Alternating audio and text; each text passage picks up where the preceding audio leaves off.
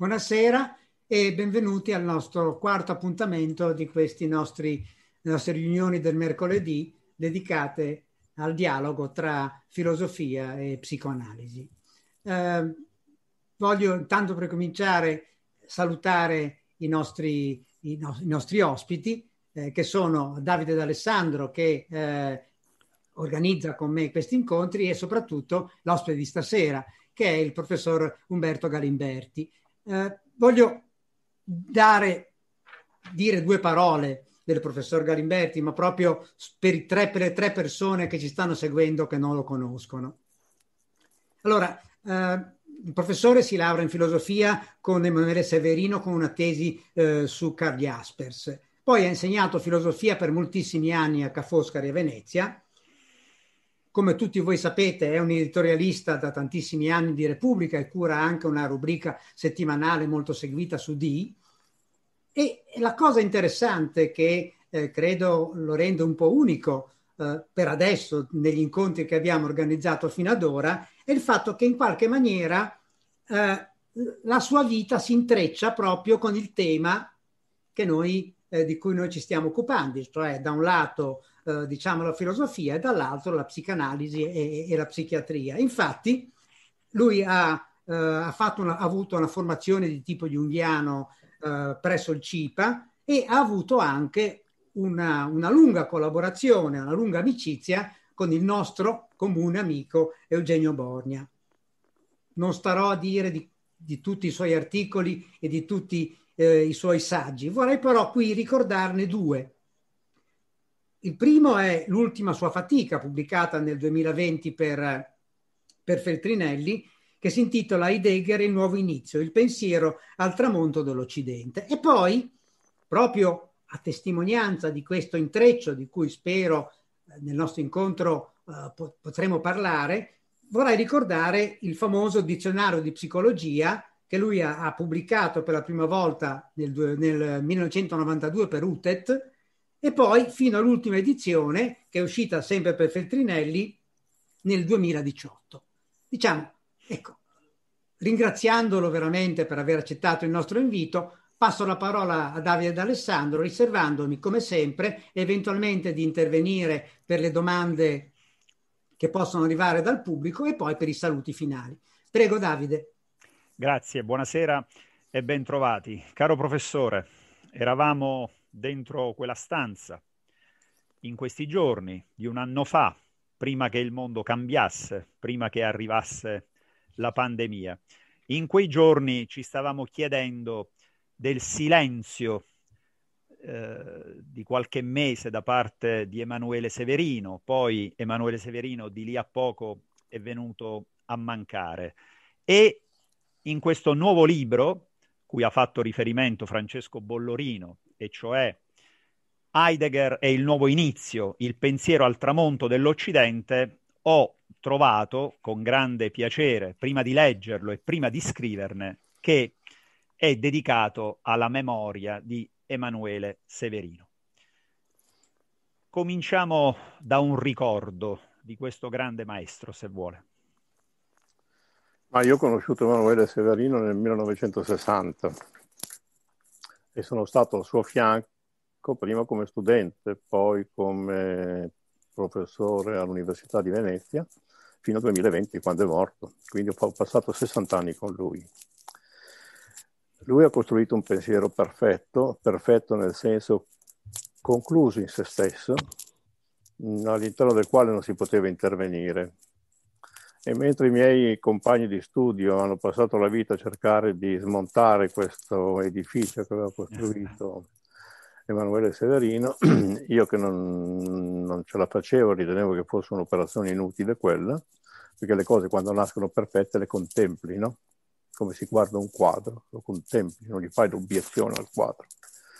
E allora mi sono dedicato al mondo della vita. Il mondo della vita vuol dire, il mondo della vita non è una mia espressione, è un'espressione di Husserl che vuol dire parlare del corpo, parlare di tutte, per esempio anche delle patologie lette filosoficamente, non necessariamente solamente in termini psichiatrici.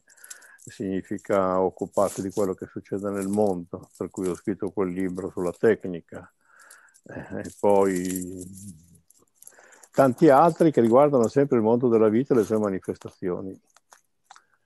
Evidentemente questo non piaceva a Severino, anzi lui era un po' disturbato da questa cosa.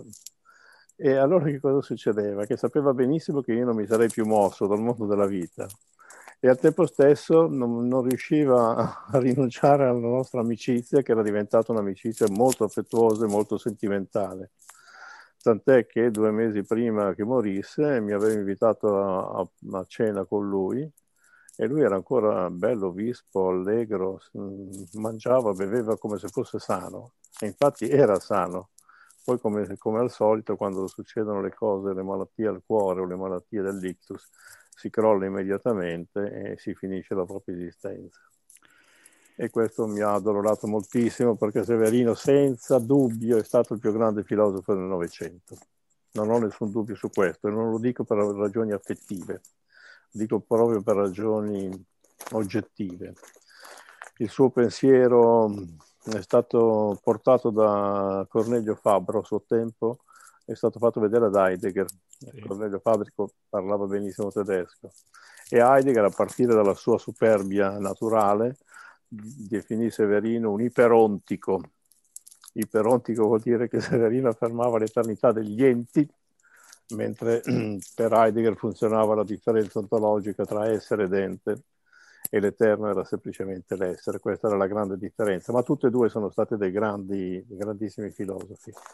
Faccio presente che nel 1950, quindi quando Severino si è laureato in filosofia all'età di 21 anni, la sua tesi di laurea era Heidegger e la metafisica.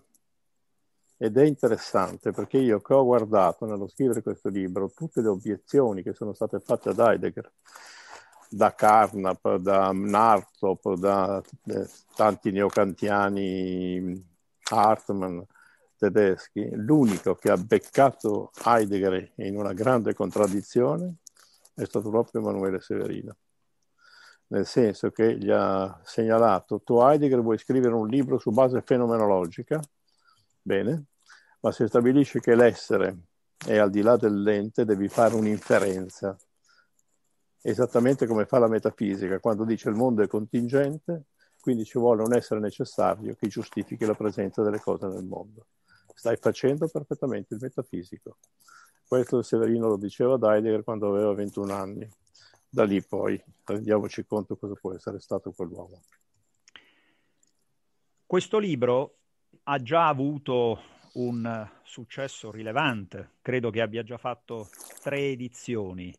Eh, lei nel libro assesta anche qualche stoccata, per esempio sul versante dell'antisemitismo, eh, il presunto antisemitismo heideggeriano che lei contesta.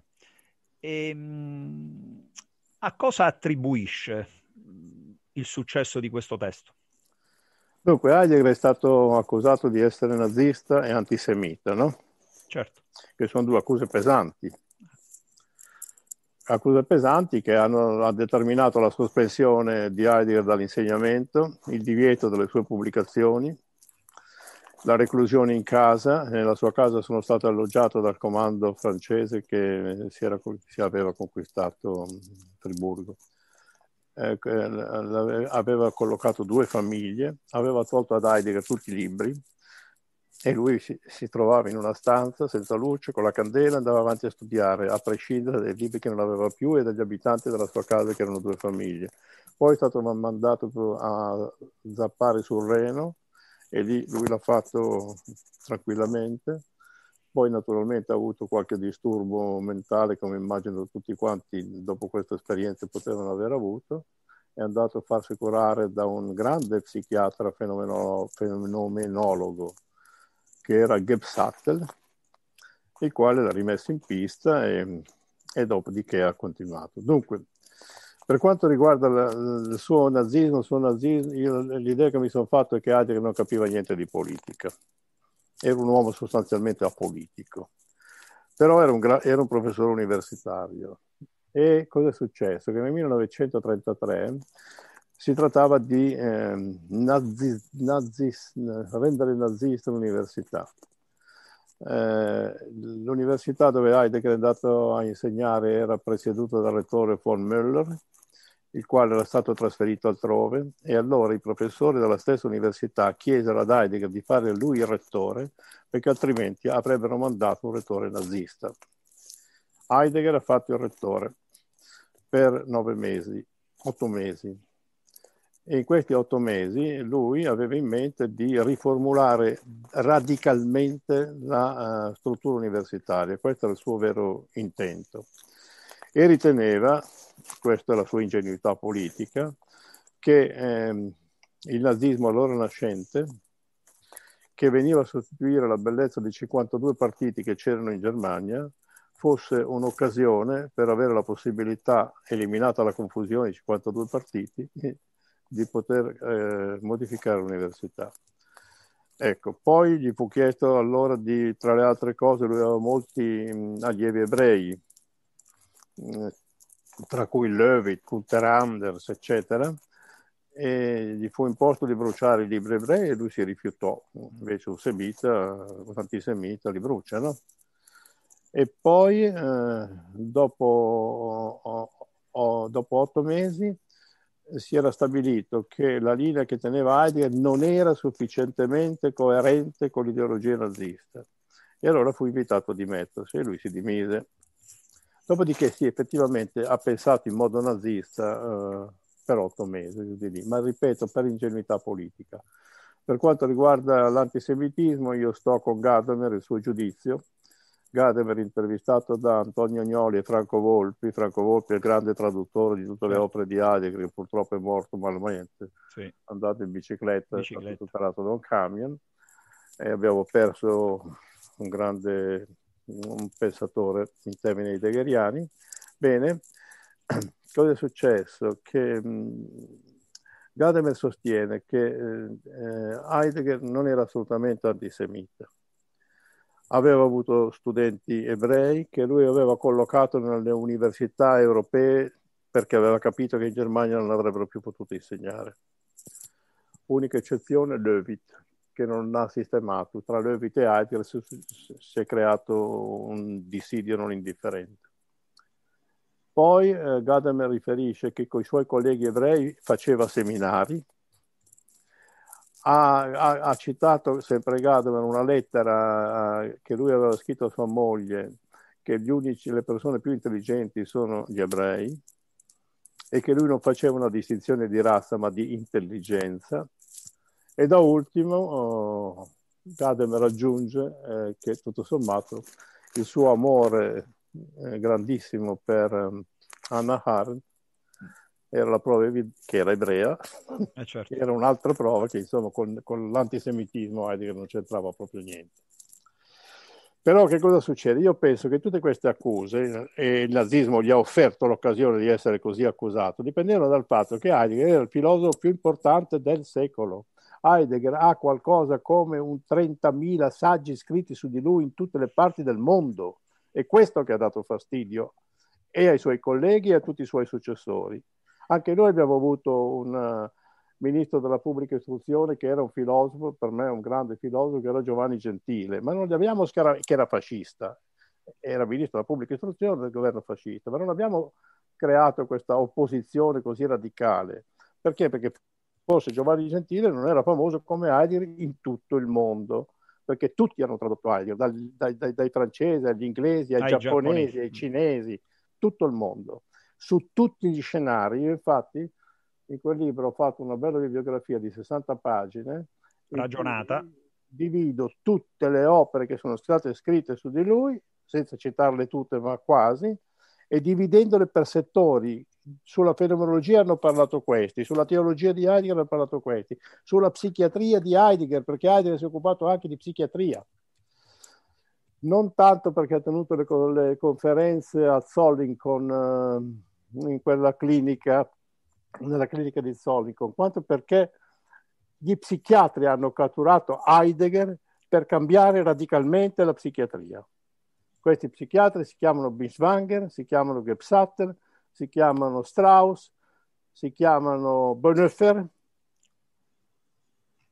E qui apro una parentesi, Bonhoeffer aveva la possibilità di far fuori Hitler, perché quando Hitler ha incominciato all'inizio della sua carriera non sembrava tanto giusto, i suoi amici le avevano consigliato di farsi visitare da Bonhoeffer, Karl Bonhoeffer, il quale eh, Hitler mm, era incerto se andare o non andare, poi decise di, di non andare, anche perché Bonhoeffer non aveva piacere di, di curare Hitler o di, o di, considerare Hitler come un paziente.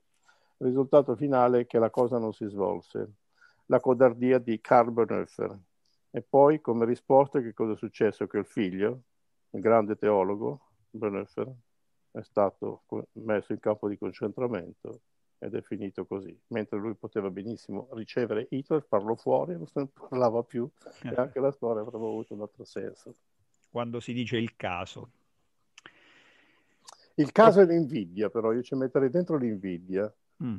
L'invidia. Eh, e l'invidia consiste nel fatto che eh, perché Heidegger è così famoso? Evidentemente non so, non è che succede che uno sia così famoso e tutti scrivono su di lui se non ha detto proprio niente. Quindi in questo caso, tanto per parafrasare la Klein, l'invidia senza gratitudine senza gratitudine. Anche Gadamer, per esempio, non è stato, fav- stato, favorito da Heidegger, non l'ha aiutato ad andare in cattedra, però Heidegger, eh, Gadamer non, non, non, ha sviluppato un odio, un risentimento nei confronti di Heidegger, al contrario, ne porta una devozione assoluta. Perché? Perché è una persona onesta e ha capito che Heidegger era un grande maestro, punto a capo. Professore, prima dell'intervista mi diceva che fa fatica ultimamente ad andare in televisione perché non c'è altro che Covid e non c'è altro che domanda quasi sempre inutile sul Covid. Però questa pandemia quotidianamente ci porta a chi si occupa di filosofia, a chi si occupa di psicoanalisi, ci porta ogni giorno dentro casa comunque il tema della morte. In quel libro che ricordavamo, che non a caso ho voluto titolare Da Severino a Galimberti, in un'ultima domanda lei mi ha detto di essere un uomo greco e ha spiegato che cosa vuol dire essere un uomo greco. Ecco, lo vuole ricordare proprio a proposito della morte. Sì, essere greci non vuol dire essere nati in Grecia. Io non sono nato in Grecia, sono nato a Monza, quindi c'è anche da vergognarsi. Ma essere greco vuol dire pensare come i greci. Allora i greci come fanno a pensare? Pensano a partire da un certo punto, che consiste nel fatto che l'uomo è mortale. Questo significa una grande differenza tra cultura greca e cultura cristiana perché la cultura giudaico-cristiana pone l'uomo al vertice del creato, gli consegna il dominio della terra e dopodiché non dobbiamo meravigliarci che scienza e tecnica siano nati in Occidente, nell'Occidente cristiano, perché fare scienza e fare tecnica non era altro che eseguire il comando di Dio. Dominerai sugli animali della terra, i volatili del cielo, i pesci delle acque i, i, greci non avrebbero mai pensato che l'uomo può dominare la natura, perché l'uomo, al pari di tutti i viventi, nasce, cresce, genera, muore. Fine. Non c'è una speranza ultraterrena. Quando Prometeo, interrogato dal coro, non è che tu hai promesso ai mortali qualcosa che non potevi mantenere? E lui dice, sì, ho dato loro cieche speranze, cioè l'idea che si poteva sopravvivere al di là della morte. Allora cosa succede? Che questa cultura della morte e, e questa equiparazione dell'uomo a tutti i viventi, nascere, crescere, generare, morire, bene, con la differenza che l'uomo soffre la morte perché sa di dover morire a differenza degli animali, però questo è il destino tragico del greco. I greci sono tragici.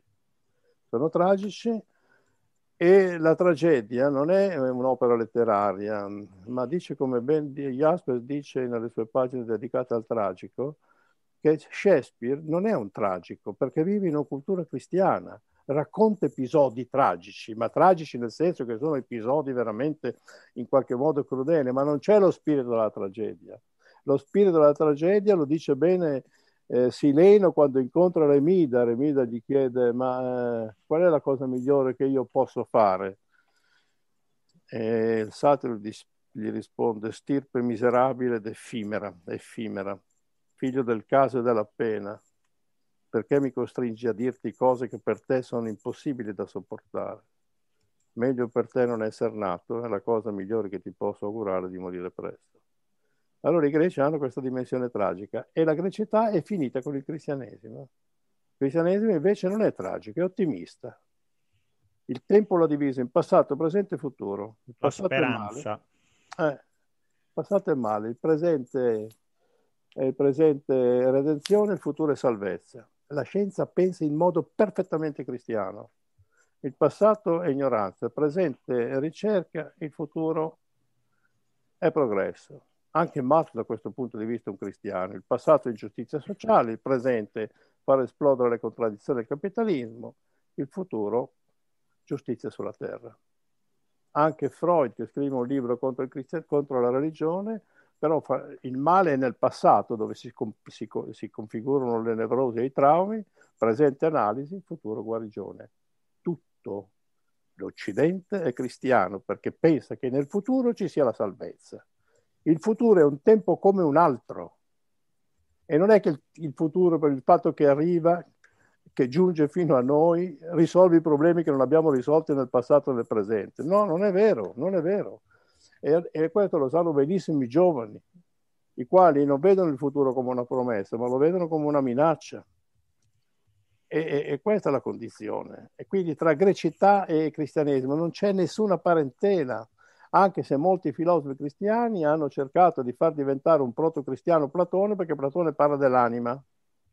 Ma Platone introduce l'anima non per motivi religiosi, introduce l'anima per motivi di conoscenza. Siccome noi non possiamo fidarci delle sensazioni corporee per costruire un sapere universale valido per tutti, dovremo procedere per numeri, idee, misure, pesi, quantità. Ecco. E questi, chi ci dà questa informazione? L'anima. Ecco qua un problema di conoscenza che poi Agostino preleva e sviluppa la sua teoria dove gli cambia scenario, l'anima non è più la, il regista della conoscenza, ma diventa il regista della salvezza. Ha appena fatto riferimento ai giovani e come non parlare dei giovani. Se c'è un acronimo in questi giorni che la fa imbestialire, se la conosco un po', è DAD, didattica a distanza. È possibile insegnare a distanza? No, non si può. Non si può insegnare a distanza, quindi bisogna insegnare in presenza. E poi neanche la scuola in presenza va granché bene, eh? intendiamoci. perché la scuola italiana, lo dico chiaro, netto e tondo, senza vergognarmi, è una scuola che non educa. Al massimo può, se ce la fa, istruisce. Non ce la perché? fa neanche sempre. Perché l'educazione non è istruzione. L'istruzione è passare dalle conoscenze che io possiedo a te che non le possiedi. Ma già Platone avvertiva che la mente non si apre se prima non si apre il cuore. Hm? E quindi bisogna lavorare a livello emotivo sentimentale. E l'educazione consiste in questo consiste nel far passare i ragazzi dalla dimensione pulsionale, tutti quanti noi abbiamo pulsioni, alla dimensione emotiva. La dimensione emotiva consiste nell'avere una risonanza emotiva delle azioni che noi compiamo, quindi capire la differenza tra bene e male, tra cose gravi e cose non gravi, perché se non capisci, non senti immediatamente queste cose, prima ancora di giudicare il bene e il male in generale, basta essere un, un personaggio pericoloso. Kant diceva che il bene e il male possiamo anche non definirli, perché ciascuno li sente, usa il verbo fühlen, sentire, naturalmente da sé. Oggi non è più vero. La scuola non porta i ragazzi dalla pulsione all'emozione, perché le emozioni non le cura. Tantomeno li porta ai sentimenti. I sentimenti non sono un fatto naturale, sono un fatto culturale. I sentimenti si imparano. E come si insegnano i sentimenti? C'è quel deposito di tutti i sentimenti che è la letteratura, perché attraverso la letteratura tu conosci che cos'è l'amore, che cos'è il dolore, che cos'è l'angoscia, cos'è la speranza, che cos'è la sfiducia, che cos'è il, la disperazione, il suicidio, conosci tutte queste figure, attrezzi la mente. E quando giunge il, lavoro, il, il, il dolore, avendo la mente attrezzata perché conosci i nomi delle sofferenze e conosci le strategie per uscire, perché la letteratura te le ha insegnate e quindi non devi fare necessariamente la fine del giovane Werther, allora ti trovi nella condizione di poter gestire la tua emotività e anche il disastro dei tuoi sentimenti. E allora capiamo perché Eschilo diceva che il dolore è un errore della mente. Se la mente è sguarnita non puoi che soffrire. Non hai strumenti. Come siamo messi con gli insegnanti? Beh, gli insegnanti, lo so, io queste cose l'ho scritto e, e purtroppo io preveder- mm, vorrei una riforma che non, stesse, non fosse una riforma burocratica, una riforma come si stanno facendo, impegnando i professori al pomeriggio a fare delle riunioni insignificanti, a compilare registri elettronici e cose di questo genere. Sa che su Facebook ho trovato una pagina per Umberto Galimberti, ministro? Sì, ma io non posso fare il ministro perché mh, per la semplice ragione che le mie proposte non verrebbero mai accettate. E le mie proposte sono nell'ordine seguenti. I professori, per poter insegnare, dovrebbero fare un corso triennale di qualsiasi laurea, studiano, prendono una laurea triennale, e poi la specialistica, invece di rifare la triennale con altri professori, dovrebbe consistere nell'insegnare a loro come si insegna. Ma prima di tutto poi bisogna vedere se è possibile insegnare loro come si insegna. Allora bisognerebbe verificare se uno ha delle capacità emotive. L'empatia, per esempio. L'empatia non ce l'hanno tutti. E chi non ce l'ha non può fare il professore, mi spiace. Allora bisogna sottoporre i professori e promuoverli non in base ai concorsi, tantomeno in base alle disgrazie che hanno in casa. Perché allora c'hai tanti figli, c'è il papà che è paralitico, allora vai avanti nelle graduatorie. Non è questo il criterio per mandare a scuola i professori. Professori devono essere selezionati in base alla loro capacità di comunicare, di affascinare. Io non ho nessun problema quando un professore mi plagia una classe. Ho dei problemi quando me la demotiva. E me la demotiva per 40 anni perché è di ruolo. Di conseguenza, il ruolo va abolito.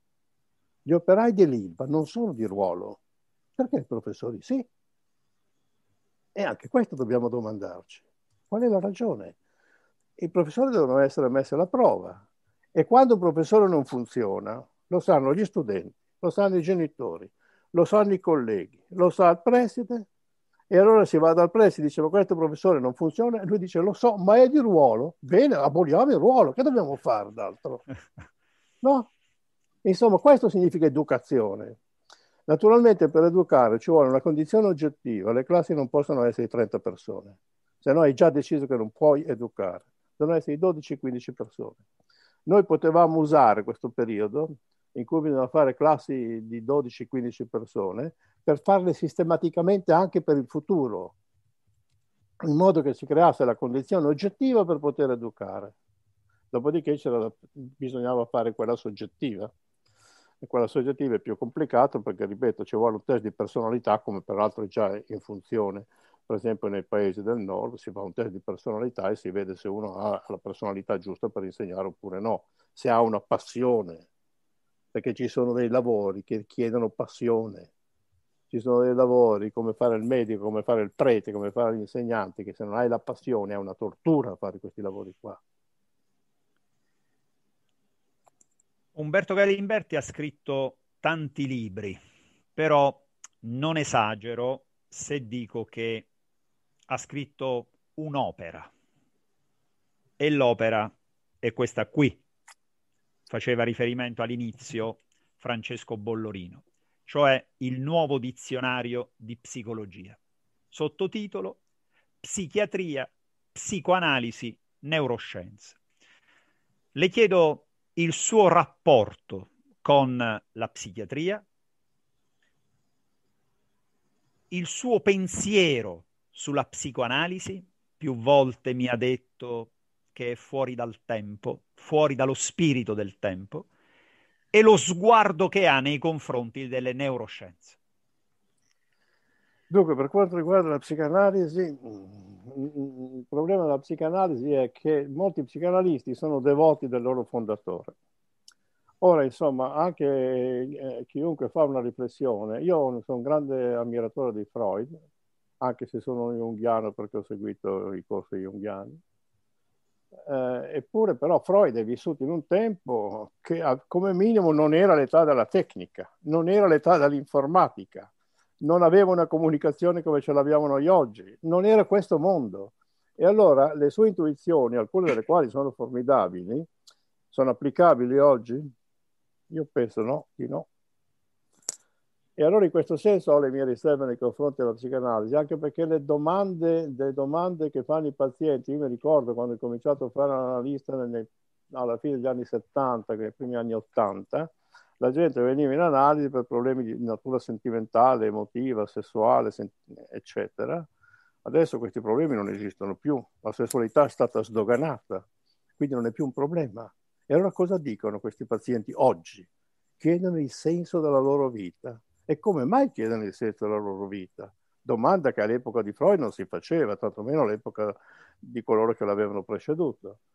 Perché noi viviamo nell'età della tecnica, la quale ci istituisce come funzionari di apparato. Che tu sia un operaio, che tu sia la segretaria di uno studio notarile, che tu sia un insegnante, tu devi seguire le, le devi compiere le azioni descritte e prescritte dall'apparato. Se sei un medico devi fare i protocolli, se sei un professore devi fare i programmi ministeriali, se sei uh, un impiegato devi fare le cose che ti dice il tuo dirigente, la tua coscienza non conta niente, niente, e se entra in contraddizioni con le azioni che ti chiedono, devi togliere la coscienza e fare le azioni che ti chiedono. Esempio, se un capo area chiede, in una banca chiede a un impiegato di vendere dei titoli spazzatura, lui può avere dei problemi di coscienza, ma può davvero non vendere i titoli spazzatura? No, non può, perché altrimenti viene licenziato. Questa dimensione è una dimensione tremenda. E vivere nell'età della tecnica significa vivere sotto il criterio della razionalità della tecnica. La tecnica non è pericolosa per le cose che fa, è pericolosa per la razionalità che diffonde, perché è una razionalità molto rigida e molto semplice, raggiungere il massimo degli scopi con l'impiego minimo dei mezzi. Basta, niente di più e niente di meno. La stessa logica che segue il mercato, con la differenza che l'economia, a differenza della tecnica, ha ancora una passione umana, che è la passione per il denaro, da cui la tecnica è del tutto esonerata. Se questa razionalità diventa la, il nostro modo di pensare, e lo è già diventato, e Heidegger l'ha annunciato da tantissimo tempo, abbiamo solo un pensiero capace di far di conto, conti tecnici e conti economici, denken als rechnen, e non abbiamo un pensiero alternativo a questo tipo di pensiero, e allora come facciamo a comprendere il dolore, comprendere l'amore, l'immaginazione, la fascinazione, l'ideazione? Come facciamo a comprendere queste cose? Il sogno, la fantasia, che sono le parti irrazionali dell'uomo. Tutta sta roba deve sparire nell'età della tecnica. E quindi a questo punto l'uomo viene messo fuori dalla storia. Ma ne possiamo considerare queste cose oppure ci, ci limitiamo semplicemente a esaltarci per le produzioni tecniche? Questo è quello che vado pensando. E prima di ritornare su psichiatria e neuroscienze, eh. lo sguardo sull'uno e lo sguardo sull'altro, però su quest'ultima cosa che ha detto, professore, in Heidegger e il nuovo inizio non c'è il punto interrogativo. C'è? Perché esist- non c'è il punto interrogativo no. dopo inizio, perché esiste anche la parola dei poeti, certo. esiste anche quella possibilità. Dunque la speranza non è morta da questo punto di vista. Per Heidegger, per me sì. Ah. Io l'ho tolta dal mio comolare, la parola speranza, perché rientra in quell'ottimismo cristiano secondo eh beh, cui certo. il futuro porta rimedio al presente.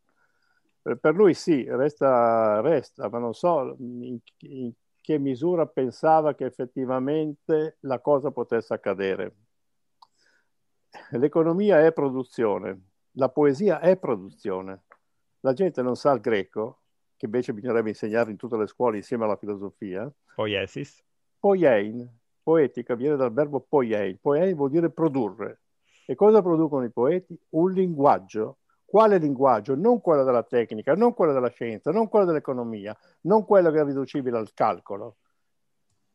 produce un linguaggio inaudito, un linguaggio che non hai mai sentito e a partire da lì devi incominciare a pensare e a pensare in modo non metafisico, perché Heidegger dimostra rigorosamente che a partire da Platone fino a Nietzsche la metafisica non ha fatto altro che assicurare all'uomo il possesso e la disponibilità delle cose attraverso il controllo teologico, Dio, attraverso il controllo scientifico, Cartesio, attraverso, fig- attraverso poi la tecnica che ne dà proprio la massima espressione.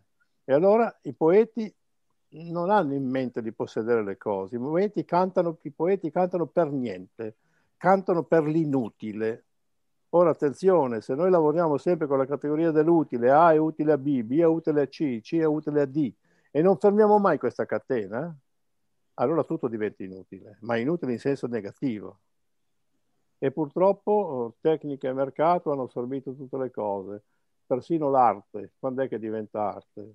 Quando entra nel mercato. Se resta fuori resta solo un'espressione biografica. E buonanotte. Il rapporto con la psichiatria e lo sguardo verso le neuroscienze. Io con la psichiatria ho un rapporto positivo perché ho visto che gli psichiatri sono più attenti, almeno quelli che ho conosciuto io, che sono quelli del primo Novecento, eh, sono più attenti alla filosofia. Se noi oggi abbiamo i pazzi fuori dal manicomio, lo dobbiamo alla filosofia di Heidegger. Heidegger non chiama mai l'uomo uomo, lo chiama in der Welt sein, essere nel mondo. Oh, essere nel mondo. Essere nel mondo vuol dire eh, appunto che tu ti devi regolare su un mondo che ti impegna, che ti sollecita, con cui sei in rapporto, lo spazio e il tempo vengono modificati a partire dal mondo ambiente in cui tu abiti, eccetera. La psichiatria con Biswanger, con uh, Minkowski, con Strauss, con Gebsattel, ha assunto di Heidegger queste configurazioni, essere nel mondo, e le ha portate avanti e questo, questo questa forma di pensiero, che era stato già inaugurato da Jaspers con la sua psicopatologia generale, in cui aveva detto a me non interessa una psichiatria eh, esplicativa, mi interessa una psichiatria comprensiva, non mi interessa sapere cos'è la schizofrenia, mi interessa comprendere questo schizofrenico. E questo non lo fai con le spiegazioni, lo fai con la comprensione. Bene, poi dopo è, è, seguito tutti quegli autori che prima ho citato, è proseguito in Francia con Foucault, è, proseguito in Inghilterra con Lang e Cooper, è proseguito in Italia con um, Carniello, con, um, con Borgna, che è il più grande rappresentante tuttora vivente.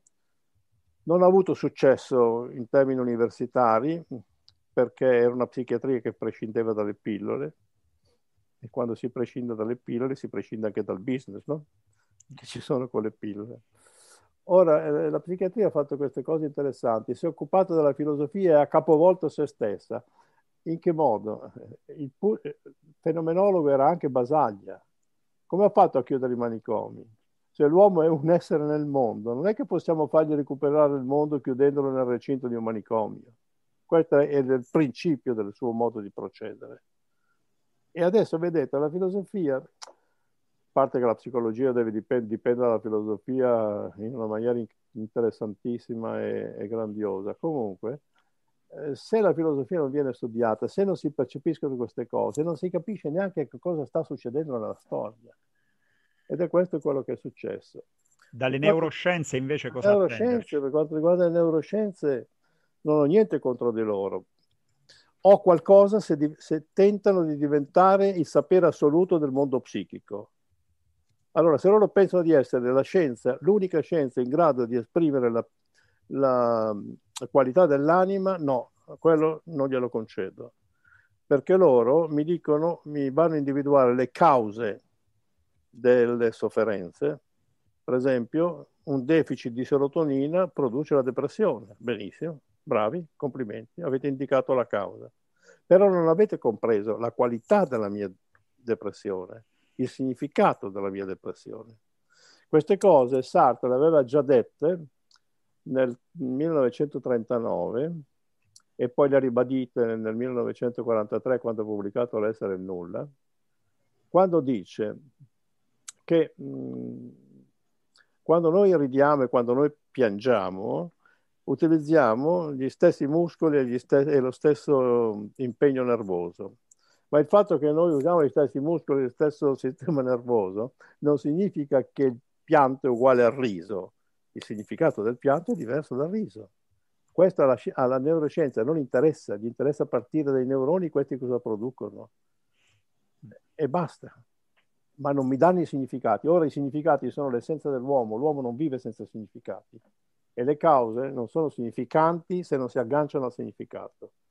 Naturalmente questo significato non può avere l'esattezza della neuroscienza, perché i significati ciascuno li assegna anche privatamente al mondo e quindi ciascuno va considerato individualmente, personalmente, e non come genere umano in generale, come procede invece la neuroscienza, giustamente dal suo punto di vista, ma non idoneo alla psicologia.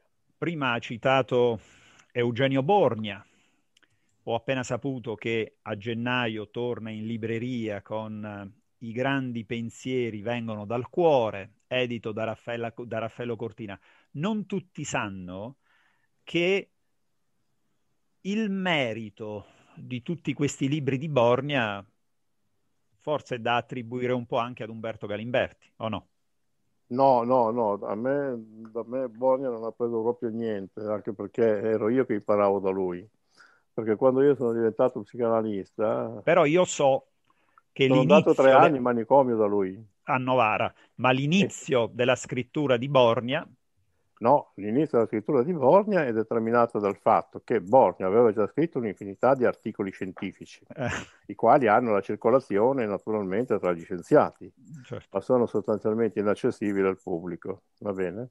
Io sono andato da Borgna perché mm, volevo vedere i passi, insomma, quando tu devi curare i nevrotici, è bene che conosci bene come sono gli psicotici, perché la differenza tutto sommato è di quantità, no? Vedi su grande schermo il manicomio, quello che poi sul piccolo schermo vedi nel tuo studio. E lì ho fatto tre anni con lui e dopo ho scritto un libro intitolato Psichiatria e Fenomenologia, a partire da questa esperienza manicomiale. E ho chiesto a Borgna, senta, mi fa, mi fa una presentazione di questo libro? E lui ha accettato di buon grado e mi ha scritto la bellezza di 35 pagine 75 pagine e dopodiché una volta che l'ho scritto gli ho detto adesso deve scrivere un libro lei però. Ecco.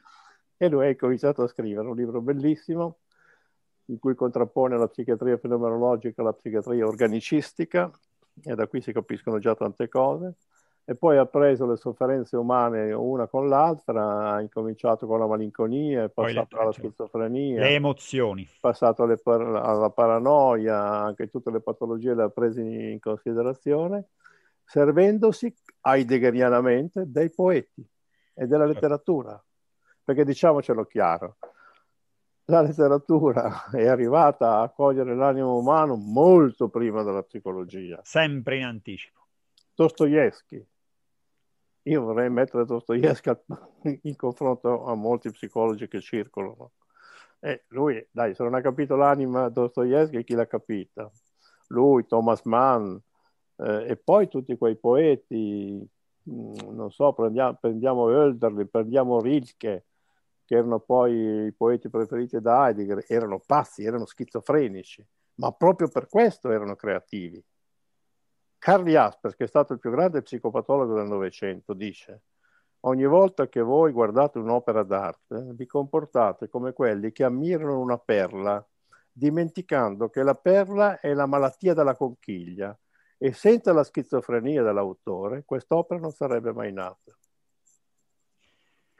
Le persone che ci seguono, lo vedo qui, alla parte destra del computer, continuano ad insistere sulla tecnica. Chieda, chieda ancora della tecnica. Possibile che non ci sia un modo per arginare questa sorta di onnipotenza?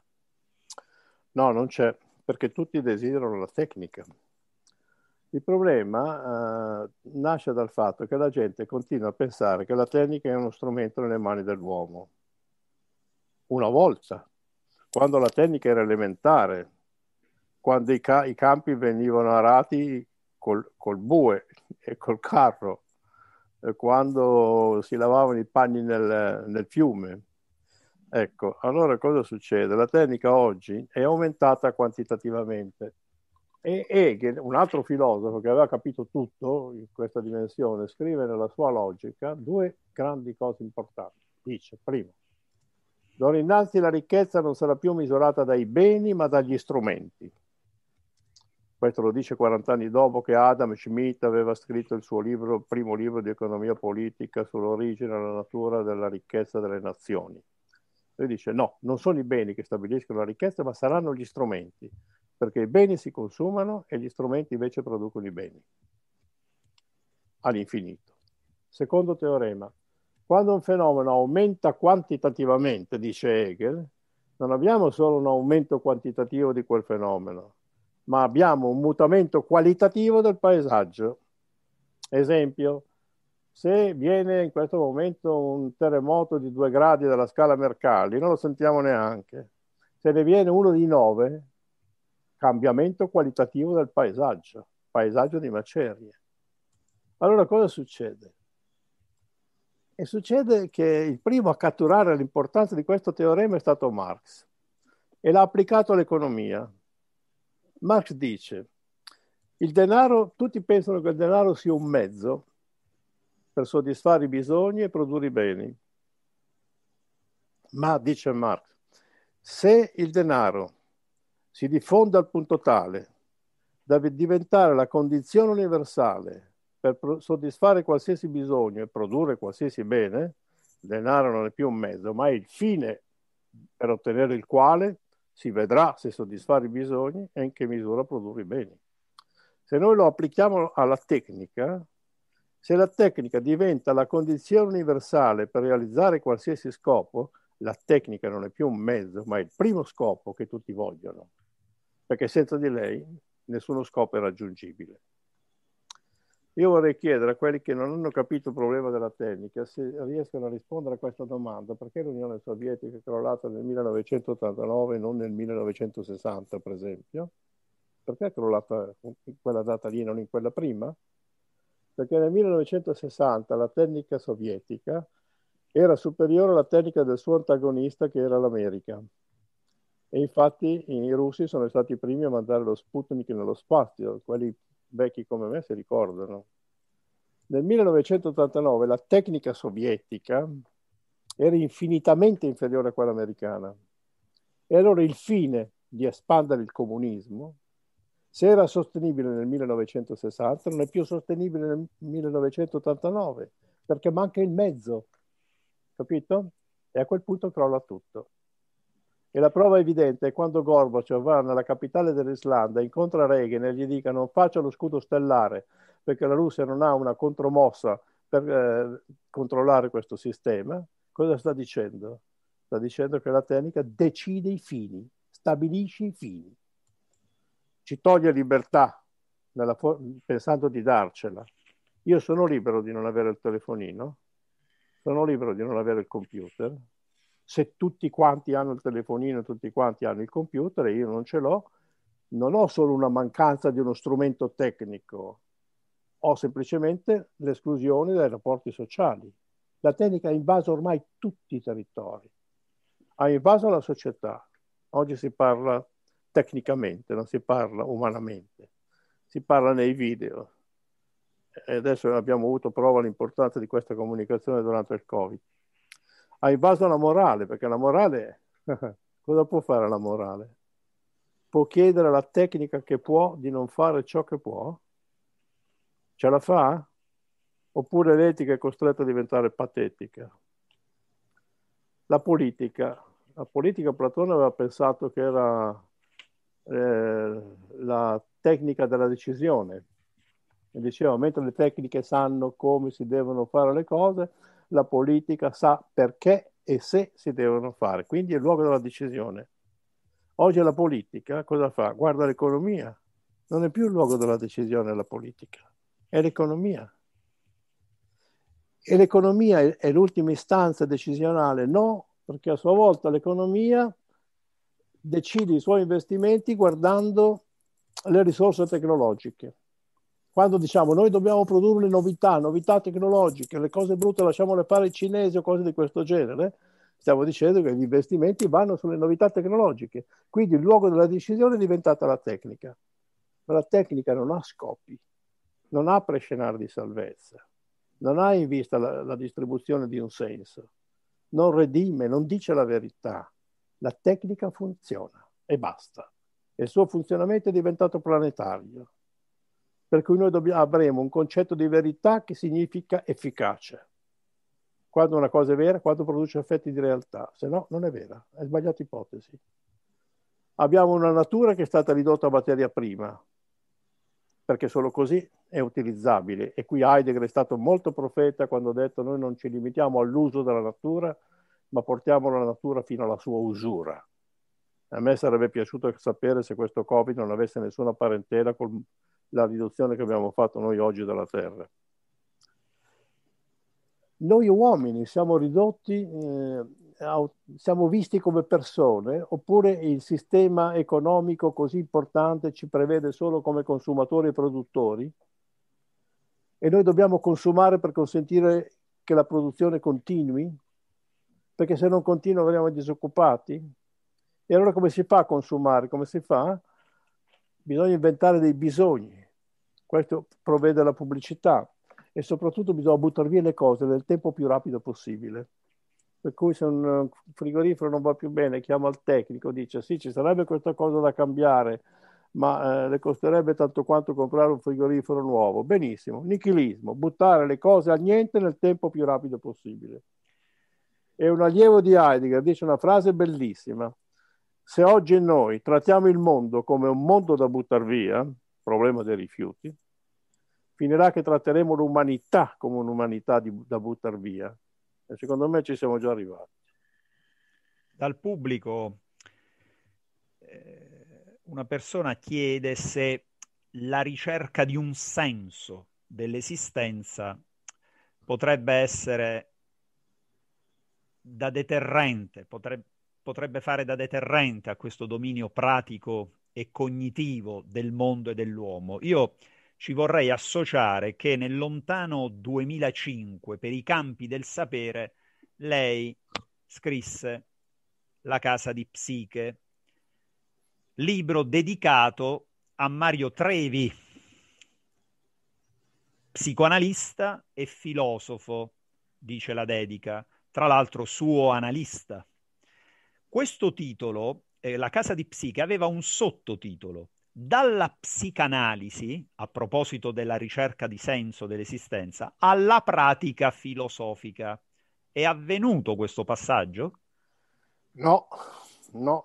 Io ho cercato di fondare a Venezia un master di consulenza filosofica eh, naturalmente mi sono procurato tutte le ire degli psicologi perché è chiaro, no? evidente. Come gli psicologi un giorno hanno patito nei confronti della Chiesa perché toglievano il lavoro ai professori, così adesso i filosofi patiscono le egemonie degli psicologi. Ci sono delle situazioni che non sono analizzabili psicologicamente.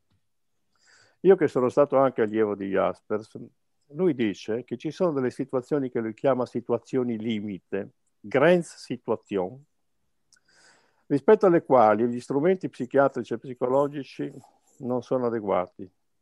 Vogliamo parlare della morte?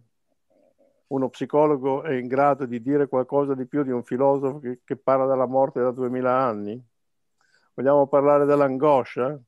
C'è qualcuno che la confonde ancora con la paura, quando invece sono due cose radicalmente diverse.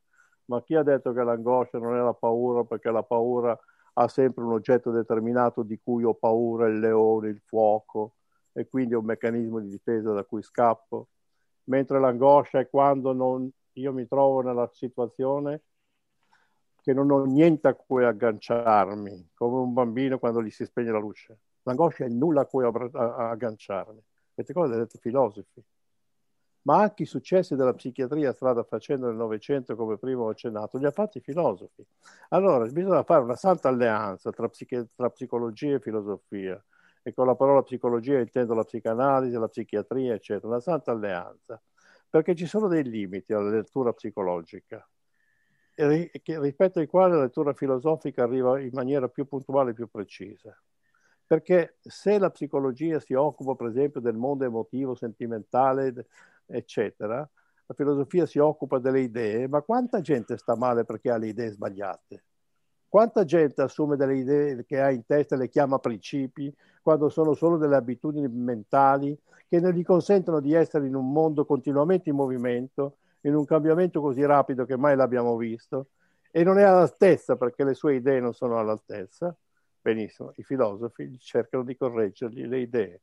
Con 20 incontri si possono correggere le idee, far vedere che queste idee non sono idonee a stare al mondo in questo mondo oppure sono sbagliate nel modo di condurre le relazioni.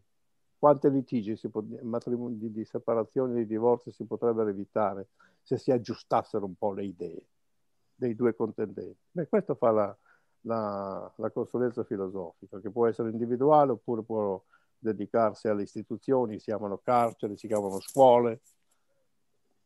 Perché non insegnare ai bambini la tolleranza? Perché i bambini giocano con con quelli che hanno il colore diverso della loro pelle fino alla prima, alla seconda elementare, poi non giocano più. Cos'è successo lì? Gli è arrivata un'idea storta dalla famiglia che con i neri non si gioca. Ecco, allora bisogna correggerle subito queste cose qui, se no si pongono le premesse dell'intolleranza. Da queste ultime parole sulla santa alleanza si evince perché il mio ultimo libro ha per titolo Il filosofo e l'analista e perché questa rubrica, questo incontro ha per sottotitolo Dialoghi tra filosofia e psicoanalisi. Come a dire, ci proviamo, e, ma queste parole hanno anche, da queste parole si evince anche perché l'ospite di questa sera si è chiamato e si chiama Umberto Galimberti. Grazie professore, la parola a Bollorino. Dico ancora una cosa, brevissima. Io in questo periodo non vado mai in televisione, non vado da nessuna parte, rifiuto le interviste. Perché se ho fatto un'intervista con voi? Devo rispondere? Come no? Perché c'era questa tematica, questa ah. alleanza tra filosofia e psicologia. Quando lei va in televisione e cita un filosofo, gli cambiano subito il discorso, interviene subito il conduttore dice lasci perdere queste cose, guai a voi. Infatti io dico, chiedo scuse cito un filosofo, annuncio prima che annuncio il filosofo. Ecco, lì non si può, bisogna andare per dettati ipnotici. Qui invece si può parlare, si può parlare, dimostrare le tesi. Abbiamo fatto tutto di corso, però insomma qualcosa spero che sia rimasto. Professore, davvero per chiudere, mi ha fatto, fatto venire un'idea. Ma il, tra i più grandi filosofi, che probabilmente sarebbe stato uno straordinario psicoanalista, possiamo certamente mettere Schopenhauer, o no? Assolutamente. Eh eh, Freud gli dedica una pagina in cui dice che la psicanalisi è stata inventata da, da, Schopenhauer e poi aggiunge che la differenza tra lui e Schopenhauer consiste nel fatto che Schopenhauer non aveva casi clinici, va bene? E perché? Perché Schopenhauer aveva individuato una cosa potentissima, che noi abbiamo due soggettività, una la conosciamo e la chiamiamo io, e con questo organizziamo tutta la nostra vita, l'altra che è quella vera, che i greci avevano capito era la specie. E la specie decide quando nasciamo, quando, cosa facciamo e cosa creiamo. Sono antitetiche le due soggettività. La specie interessa la conservazione di sé medesima, non la conservazione degli individui. E quando gli individui vecchi non, non, gli, non gli interessano più, e quindi li lascia morire tranquillamente. Ecco, questo dissidio, questa tragicità che i greci avevano capito perfettamente, non parlavo di specie, parlavo di natura loro e di individuo. Eh, se noi la riuscissimo a individuare, cosa ha messo Freud nell'inconscio? Due gran, I due grandi interessi della specie. Il nostro inconscio cosa contiene? Le due pulsioni fondamentali. Cosa sono? Sessualità per la procreazione e aggressività per la difesa della prole. Ma a chi tornano utili queste cose? Alla specie. E l'io per non sentirsi un funzionario della specie, si inventa tutto questo mondo magico di illusioni, di sogni, di progetti, eh, di arrivare al potere, eccetera. Non ha la cultura greca del limite, non oltrepassare il tuo limite. I greci dicevano chi conosce il suo limite non teme il destino. Non avevano dei comandamenti, non avevano dei precetti da seguire, avevano solo questa massima, non oltrepassare il tuo limite, perché se oltrepassi il tuo limite prepari la tua rovina sarai un bravo attore, ma magari non sei bravo come un grande attore, sei un bravo scultore, ma magari non sei bravo come figlia. Non tentare di diventare figlia, conosci i tuoi limiti. E allora a questo punto eviti di, creare, di procurarti la tua rovina. E questa cultura del limite noi l'abbiamo persa. Noi siamo, una, siamo in una cultura dell'illimitato. Dobbiamo sempre svilupparci, progredire, cambiare i telefonini, andare avanti con le forme più nuove di computer, avanti, avanti, avanti, fin dove? E a che pro? Bollorino, però con Galimberti siamo andati oltre il nostro limite, o no? Ma certamente, io sarei rimasto qua ancora per due ore a parlare, a parlare col professore. Vede, io credo che questa serata, oltre che ringraziarla per la sua disponibilità e per la scelta di parlare con noi, proprio perché questo è uno spazio libero dove ci si può esprimere come ognuno crede. Io credo che, per dire una battuta, abbiamo fatto con lei, attraverso la tecnologia, attraverso il digitale, un'ora, una splendida ora analogica, nella più, alto, nella più alta accezione del termine. E se posso usare un'immagine che a me piace, che è quella dell'alta fedeltà, io sono un audiofilo di antica, di antica stirpe, eh, io credo che stasera abbiamo ascoltato uno splendido vinile uno splendido vinile, ah, quei dischi grandi. vinile, che in realtà, come lei ben sa, è molto costoso farlo suonare bene rispetto al digitale, ma quando suona bene, ed è molto costoso farlo suonare bene, suona tuttora infinitamente meglio del digitale. Diciamo quindi, professore, che la forza delle parole, che sono analogiche, anche se mediate attraverso YouTube e attraverso un canale digitale, credo che siano arrivate alle tantissime persone, glielo comunico, che ci hanno già seguito in diretta e alle migliaia che ci seguiranno poi in differita. Professore, se Feltrinelli ha sentito, farà un vinile Umberto Galimberti. È possibile. Perché no? Dai, sarebbe, sarebbe una bella idea. E in ogni caso, dico, la ringrazio e nel chiudere questa serata annuncio il prossimo appuntamento che sarà la prossima settimana con Carla Stroppa, che è una psicanalista junghiana e un'editrice. Conseguentemente c'è anche questo, questo aspetto che è probabilmente intrigante. Quindi eh, di nuovo rinnovo il mio ringraziamento al professor Galimberti, vi saluto e eh, vi rimando a mercoledì prossimo. Arrivederci, Grazie, buonasera.